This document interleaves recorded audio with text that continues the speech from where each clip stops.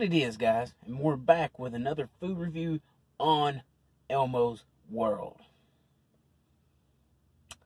Got some announcements coming up in the next video, not this one. So, got to stay tuned to find out what they are.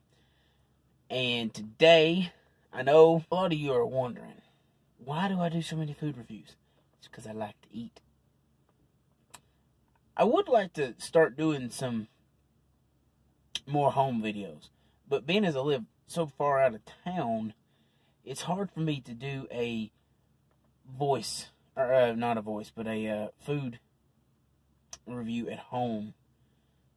So, I've been kind of trying to figure out ideas that I can do, like grocery store items as well, or even like, you know, trying out and unboxing videos and that sort of thing, like I do with the snack crate. So, after uh, after today, there may be some changes coming to the channel, some updates, which I'll get into more about in the next video, and nothing big, nothing big, but you'll see what I mean. Okay. Well, today I was on the app, the McDonald's app, because the apps are basically how I've been starting to keep up with the new food trends of the day. And there was one that came across, and I was like, gotta try it. McDonald's has a new barbecue bacon cheeseburger. And I got the double. The large double would ended up being like ten dollars. Rounded up. I'm, I'm not going to get into the details of the cents or anything like that. But basically, I pull up in the drive-through, and of course they had to ask if they could they had it. So I was like, well, maybe it's been out for a while, and I haven't seen it. Apparently, it wasn't because I get up to the drive-through. Uh, the first window, the woman says, "I think that's the first one I've ever sold." I was like, "Oh, well, I was on the app and I seen it." I was like, "Okay," and she kind of laughed. I was like, "So I may be the first person in my town, or at least for that cashier, to have bought this." So that's kind of cool.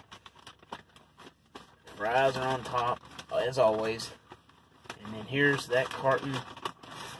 There it is. Okay.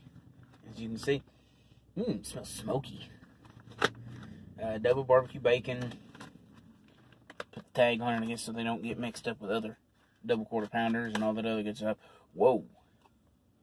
The bacon already flying off the top. Crispy but chewy at the same time, the way I like it. And uh fried onions. The only thing I don't like about McDonald's is they seem to be very skimpy on the barbecue sauce. Like they put a dollop on it and then stick the bacon to it so it's hidden. Cause see, there's not much on it at all. It's like, like come on, McDonald's. And they did not put any on the bottom or in between. It's just cheese, looks like. But, you know, it may be a good barbecue sauce. Bacon's crumbling everywhere. No, bacon's good. Bacon. Alright. there, there's some of the fried onions. This place thing's falling all over the place. Eat eat with napkin. You know, I'll be honest with you. Since um since McDonald's got basically showed up by Wendy's in the Twitter war, they have made this move to go to fresh, never frozen beef. Which I can't say I blame them because their burgers. Now I don't know if they do it for all burgers. I think it's just their like mainline, like quarter pounders and stuff. But their burgers have increased quality majorly. The only problem I see is is there's no pre-cooking. So it you there is a tendency to have a how do I say this? Pinkish middle, which I know freaks some people out. They're like, "Oh my god, my hamburger's got a pink middle.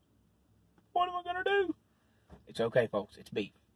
As long as it's beef, you're good. Pork, chicken, I wouldn't eat it. But beef, you're good tuna, actually, you're good. Duck, you're good. Anyway, that's a whole different subject. But this burger, that barbecue sauce is playing through really, really nicely. And then you got got the there's no pickles on it. That's the only thing I wish they would have put on there is maybe a pickle or two to kind of cut the fat of the burger, the acidity in it, the sourness. It kind of just even it all out. But that's the only argument I have. Cheese, barbecue, it's really good. The the onions, they're fried up nicely. So, but this burger does it beautifully. Like, here's one of the onion pieces, and the breading is good, flavored nicely. Got a lot of seasoning in it. Probably not 13 herbs and spices, but you know, it's seasoned good. And overall, it's just a really good burger. So, I mean, that's all I've got for y'all today. So tune in next episode to find out the updates for this channel. Um, share this with all your friends. Share it on Facebook, social media, wherever you want to. And like, comment, and most importantly, subscribe. Because subscribing and commenting get me into the YouTube algorithm so my videos can be posted everywhere. So thank y'all. Peace. God bless. And I'll see y'all next time.